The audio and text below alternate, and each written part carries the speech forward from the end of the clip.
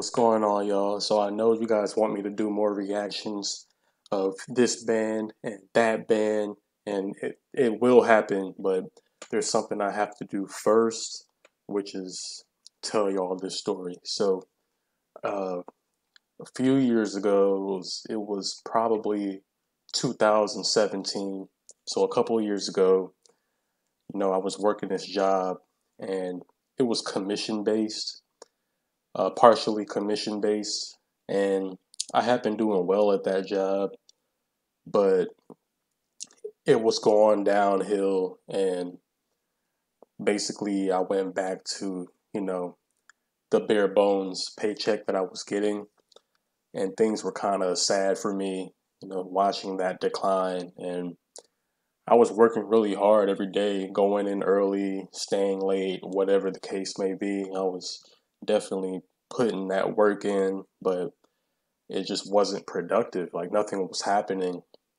And so I started to, you know, one day I was taking a shower and I called out to God and I was like, God, you know, I've been working so hard and nothing's been happening. I've been losing money and you know, I'm going to continue to work hard, but I just need a financial blessing, you know. That's the word I use. I said financial blessing, you know, I need a financial blessing.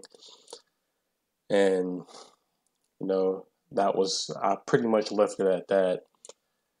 So that was my prayer and I didn't have a car at the time, so I put on my clothes and I walked on to work and sat at my desk and just focused on the rest of my day. I just went about my day.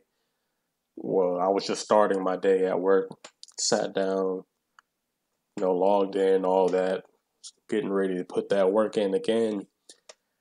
When suddenly one of my coworkers who I worked with, she came over to my desk from the other side of the office and was like, William, can I talk to you?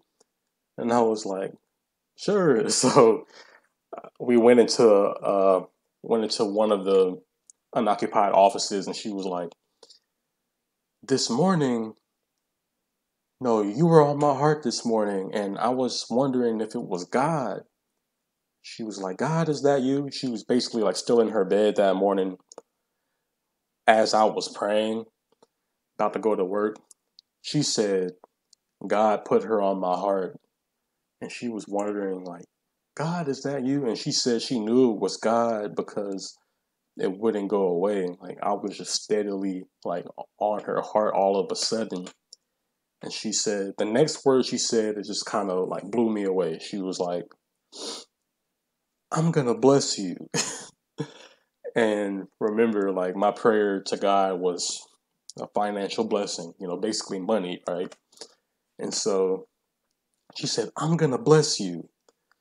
She's like, basically she was telling me that she was she was planning on coming across some money and she was going to give me some of it.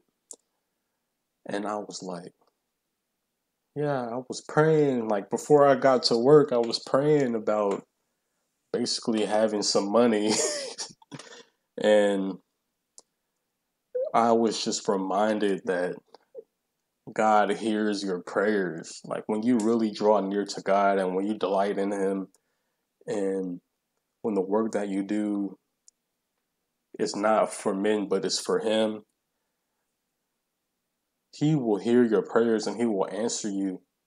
Maybe not in a way that you expect, but in a way that makes you like, wow, like in a way that amazes you, you know?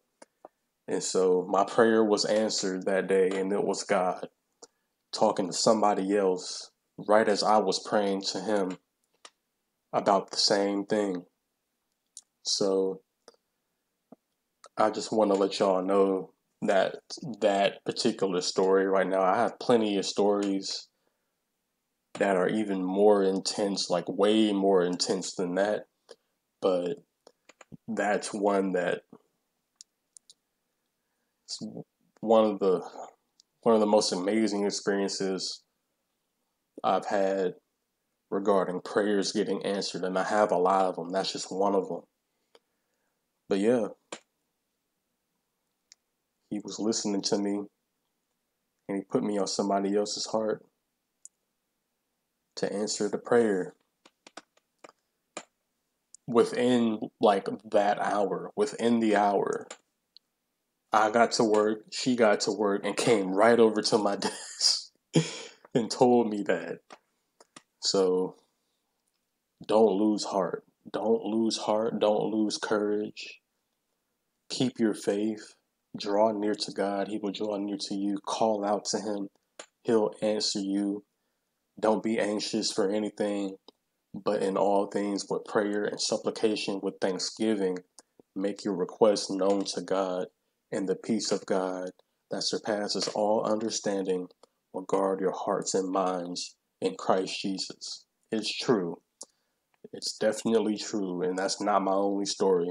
But anybody out there who's believing in God for something, pray your prayer as often as you feel you need to. But after you pray, go on about your day.